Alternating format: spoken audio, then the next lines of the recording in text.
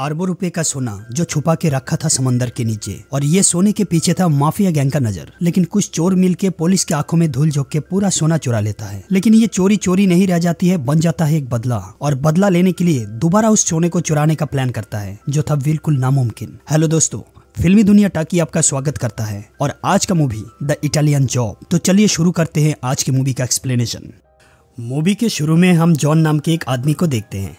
John एक शातिर चोर था। वो सेकंडों में किसी भी लॉकर को खोल सकता था। जॉन वेनिस में उसकी बेटी स्टेला को फ़ोन करता है। स्टेला जॉन से बहुत प्यार करती है, क्योंकि इस दुनिया में उसके पापा के अलावा उसका और कोई नहीं है। जॉन स्टेला से कहता है, मैं तुम्हारे लिए एक नेकलेस भेज रहा हूँ। ये सुन के स्टेला गुस्सा हो जाती है, क्योंकि स्टेला समझ गई थी कि जॉन फिर से चोरी की है, और ये नेकलेस चोरी का ही है। दरअसल जॉन थोड़ी देर पहले एक नेकलेस चुराया था। जॉन स्टेला से कहता है कि वो ज़िंदगी का आखिरी चोरी करने जा रहा है, और ये कह के फ़ोन काट देता है।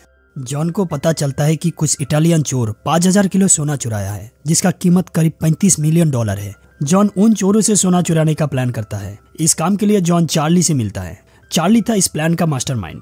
अब दोनों मिलकर बाकी टीम के मेंबर से मिलता है। इनमें से एक का नाम था लेफ़्ट ईयर, और ये बॉम्ब बनाने में एक्सपर्ट था। दूसरा का नाम था रॉब। रॉब बहुत अच्छा ड्राइविंग करता था। इसके बाद टीम का पांचवा मेंबर को देखते हैं। जिसका नाम था लाइल। लाइल खुद को नैपस्टार बुलाता था, क्योंकि उसने एक सॉफ्टवेयर बनाया था, जो उसके दोस्त ने चोरी किया था जब वो सो रहा था। लाइल एक कंप्यूटर एक्सपर्ट था, जो किसी भी सिस्टम को आसानी से हैक कर सकता था। अब सभी मिलके चोरी करने का प्लान करता है। इधर जिस बिल्डिंग में सोना था, वहाँ टीम का और एक मेंबर पहले से ही मौजूद था, जिसका नाम था स्टीव। जॉन स्टीव को कॉल करता है और प्लान का स्टेटस जानना चाहता है। स्टीव कहता है कि यहाँ सब कुछ ठीक है। अब लाइल अपना सिस्टम को स्कैन करके जहाँ पे सोना रखा हुआ है, उसका लोकेशन स्कैन कर लेता है। इधर जॉन और बाकी चार उस बिल्डिंग के नीचे वाला टनल में घुस जाता है। दरअसल भैनी शहर पूरा पानी के ऊपर था। जिस कारण से सभी घर के नीचे ऐसा टनल बना हुआ था। अब सोना रखा था पहला फ्लोर पर और स्टीव था उसके नीचे वाले फ्लोर पे और उसके नीचे था जॉन और बाकी लोग। इसके बाद प्लान के मुताबिक स्टीव वहाँ लिक्विड एक्सप्लोजिव लगा देता है, जहाँ सोने का लॉकर रखा था। इसके बाद ब्लास्ट करते ही लॉकर सीधा रॉब के बोर्ड में गिरता है और तुरंत रॉब और लाइल लॉकर लेकर वहाँ से भाग जाता है। लेकिन दोनों जो लॉकर लेके भाग रहा था, दरअसल वो नकली लॉकर था। असली लॉकर तो वो पानी के नीचे डूब गया था और इस प्लान में फंस जाता है पुलिस। पुलिस नकली लॉकर के पीछे भागता है, लेकिन रॉब अपने ड्राइविंग स्किल से उनसे पीछा छुड़ा लेता है। अब जॉन पानी के नीचे उस लॉकर को खोलने लगता है। उसके साथ बाकी चार भी वहाँ मौजूद था। इधर जॉन उस लॉकर को खोल लेता है और सब मिलके अंदर का पूरा सोना लेके बाहर चला जाता है। आगे के सीन में हम एक बर्फीले पहाड़ को देखते हैं, जहाँ सब मिलके सेलिब्रेशन कर रहा था। बहुत सब अपनी इच्छाओं को ज़ाहिर कर रहा था की वो लोग सोना बेच के क्या करेंगे। लेकिन स्टीव को पूछने से स्टीव उसका कोई जवाब नहीं देता है। इसके बाद सब मिलके वहाँ से निकल जाता है। कुछ दूर जाने के बाद एक ब्रिज पार करते वक्त सामने एक गाड़ी आके उनको रोक देता है। गाड़ी से कुछ आदमी निकल के आता है। इधर रॉब को कुछ समझ में ना आए इससे पहले स्टीव उसे गन पॉइंट में ले लेता है और उधर पीछे से वो लोग गाड़ी से सोना भरा बॉक्स निकल लेता है। ये देख के जॉन समझ जाता है कि स्टीव उन सबको धोखा दे रहा है, इसलिए वो स्टीव को समझाने के लिए गाड़ी से उतरने लगता है, लेकिन स्टीव जॉन को गोली मार देता है। बचने के लिए रॉब गाड़ी को लेकर वहाँ से भागने लगता है, लेकिन दूसरे एक गाड़ी में टकरा के वो लोग नीचे पानी में गिर जाता है और डूब जाता है। इधर ऊपर से स्टीव लगातार फायरिंग करता रहता है ताकि सबको मार सके, लेकिन पानी के नीचे सब लोग ऑक्सीजन मास्क लगा लेता है। कुछ देर बाद जॉन का बॉडी पानी के ऊपर आ जाता है। स्टीव समझ जाता है की सब मर गया है और वो वहाँ से चला जाता है। इधर सब बच जाते हैं। बस जॉन मर जाता है। चार्ली जॉन को गोद में लेके बहुत रोता रहता है, क्योंकि वो जॉन से बहुत प्यार करता था और उनका रिस्पेक्ट भी करता था। इसके बाद एक साल गुजर जाता है। अगले सीन में हम देखते हैं कि चार्ली स्टाला से मिलने आया है। चार्ली स्टेला से कहता है कि उन्हें स्टीव का पता चल गया है और सोना उसके घर के अंदर लॉकर में रखा है। स्टीव अगले हफ़्ते वो सोना किसी को बेचने जा रहा है। हम उससे पहले उस सोना को चुरा लेंगे और लॉकर खोलने में तुम हमें मदद करोगी। स्टेला चार्ली से बहुत गुस्से में थी। चार्ली स्टेला को समझाने की कोशिश करता है की उस सोने पे उसका कोई दिलचस्पी नहीं है। वो तो बाद स्टीव से वो सोना चुरा के जॉन का मौत का बदला लेना चाहता है। लेकिन स्टेला कोई जवाब नहीं देती है और चार्ली वहाँ से मायूस होकर निकल जाता है।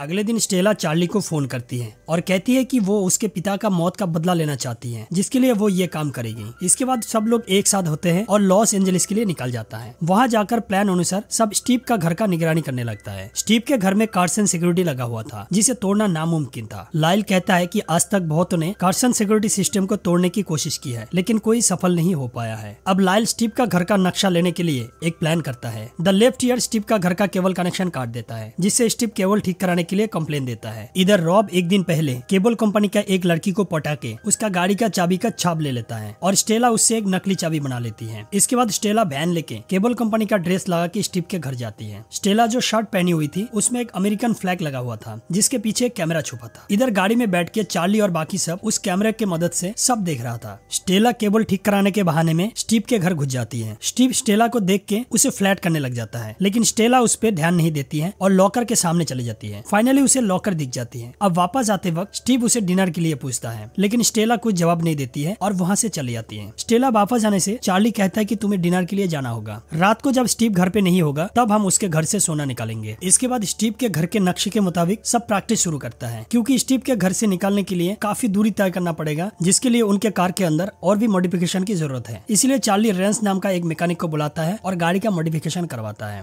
इधर एक प्रॉब्लम था। उस शहर में इतना जाम होता था की बीस मिनट का रास्ता पार करने के लिए एक घंटा लग जाता था। लाइल उस शहर का पूरा सीसीटीवी को हैक कर लेता है, ताकि चोरी के दिन रास्ता क्लियर कर सके। इधर लेफ़्ट ईयर स्टीव का घर का मेन गेट तोड़ने के लिए एक बॉम्ब बना लेता है। अगले सीन में देखते हैं कि स्टीव उसका सोने का ईटा बेचने के लिए एक आदमी के पास जाता है। लेकिन उस आदमी को सोना देखते पता चल जाता है कि ये सोना इटली से चुराया गया है, क्योंकि सोने के ऊपर वेनिस डांसर की फ़ोटो बनी हुई थी। स्टीव को ये पता चलने से स्टीव उस आदमी को मार देता है। उसका मौत का पता चलने पर उसका भाई कातिल को ढूँढने लग जाता है। इन्वेस्टिगेशन से पता चलता है कि चार्ली नाम का एक आदमी उसे सोने के बारे में पूछ रहा था और इससे उसे शक हो जाता है कि चार्ली ने उसके भाई को मारा है। इसलिए वो चार्ली को मारने के लिए निकल जाता है। इसके बाद आता है वो दिन, जब चार्ली स्टीव के घर में जाके सोना चुराएगा। स्टीव रात को डिनर के लिए निकल जाता है और चार्ली अपने टीम के साथ स्टीव के घर के लिए निकल जाता है। लेकिन वहाँ जाके देखता है की स्टीव के घर के पास एक पार्टी चल रहा है। अगर गेट को ब्लास्ट कर दे तो सब पकड़े जाएँगे। इसलिए चार्ली अपने टीम के साथ वापस चला आता है। लेकिन स्टेला को डिनर में जाना पड़ता है, क्योंकि आज अगर वो नहीं गया तो स्टीव और कभी उसे डिनर के लिए नहीं बुलाएगा।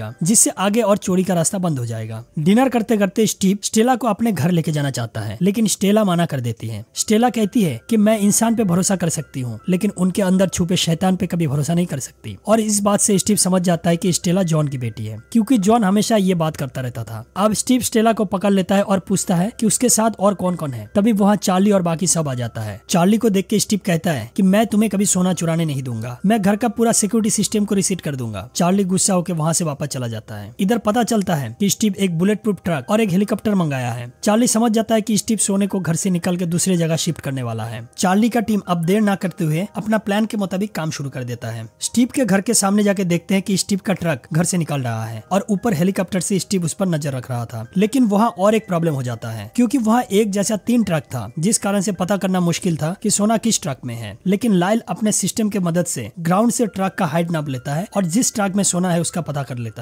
इसके बाद लाइल ट्रैफ़िक को क्लियर करते हुए ट्रक को वहाँ जाने के लिए मजबूर कर देता है, जहाँ वो लोग प्लान करके रखा था। इधर चार्ली, रॉब और स्टेला कार लेके एक मेट्रो स्टेशन में घुस जाता है और मेट्रो ट्रैक होते हुए वहाँ पहुँच जाता है, जहाँ ट्रक पहुँचने वाला था। लाल मेट्रो सिस्टम को हैक करके एक मेट्रो को प्लेटफॉर्म में रोक देता है। अब ट्रक वहाँ पहुँचते ही लेफ़्ट ईयर मेट्रो का टनल के ऊपर ब्लास्ट कर देता है, जिससे ट्रक सीधा नीचे मैन होल पे गिरता है और इधर उस ब्लास्ट किए हुए जगह को रेंच आगे ढक देता है। इधर नीचे चार्ली और बाकी सब ट्रक का गेट तोड़ देता है और स्टेला लॉकर खोलने के लिए आगे आती है। लेकिन यहाँ एक प्रॉब्लम हो जाता है। स्टेला ने जिस लॉकर को देखा था स्टीव उसे बदल के दूसरा लॉकर लेके आया था। और ये लॉकर खोलना लगभग नामुमकिन था। स्टेला लॉक खोलने की कोशिश करती है, लेकिन वो नहीं कर पाती है। तब चार्ली स्टेला का हाथ पकड़ के कहता है की तुम ज़रूर कर सकती हो। अब स्टेला फिर से लॉकर खोलने की कोशिश करती है और इस बार वो लॉकर को खोल देती है। लॉकर का दरवाज़ा खोलते ही देखते उनके सामने सत्ताईस मिलियन डॉलर का सोना पड़ा हुआ है। अब चार्ली और बाकी सब तुरंत उस सोने को गाड़ी में लोड करने लग जाता है। सोना निकाल लेने के बाद तीनों गाड़ी लेके वहाँ से निकलने लगता है। इधर स्टीव का आदमी उनका पीछा करने लगता है, लेकिन तीनों अपने ड्राइविंग स्किल से सबको चकमा देके वहाँ से निकल जाता है। लेकिन अभी भी मुसीबत खत्म नहीं हुआ था। अब स्टीव हेलीकॉप्टर लेके तीनों का पीछा करने लगता है और इस बार तीनों अलग अलग दिशा में चला जाता है। अब स्टीव चार्ली का गाड़ी का पीछा करता है, लेकिन चार्ली स्टीव को एक गराज में फंसा के वहाँ से निकल जाता है। अब तीनों गाड़ी एक वेयर हाउस के अंदर एक कंटेनर में घुस जाता है। थोड़ी देर में वहाँ स्टीव भी आ जाता है। अब स्टीव के सामने आ जाता है चार्ली। चार्ली कहता है कि अब ये सोना मेरा है। तुमने हमारा पार्टनर जॉन को हमसे छीन लिया है। अगर बचना चाहते हो तो यहाँ से चले जाओ। लेकिन स्टीव चार्ली पर पिस्टल तान देता है। तभी पीछे से चार्ली का आदमी स्टीव को गन पॉइंट में ले लेता है और वहाँ चला आता है वो आदमी जिसके भाई को स्टीव ने मार दिया था। स्टीव समझ जाता है की वो अभी फंस गया है, इसलिए वो उस आदमी से डील करना चाहता है। लेकिन चार्ली बहुत चलाक था। वो पहले से ही वो आदमी से डील कर चुका था। अब सामने आती है स्टेला। स्टेला पहले से ही गुस्से में थी। स्टेला स्टीव के मुँह पर एक ज़ोर से पंच मारती है और चार्ली का आदमी स्टीव को वहाँ से लेके जाता है। अगले सीन में देखते हैं कि रॉब अपना मनपसंद कार खरीद लिया है। लेफ़्ट ईयर अपना पसंद का घर खरीद लिया है और उसका एक रूम महँगी महँगे जूते से भरा हुआ है। लाइल का फ़ोटो मैगजीन में निकाला है। इधर चार्ली अपने लिए जीवन साथी ढूंढ लिया है। चार्ली स्टेला से शादी करके वेनिस में सेटल हो गया है और इसी सीन के साथ मूवी यहाँ पे खत्म हो जाती है।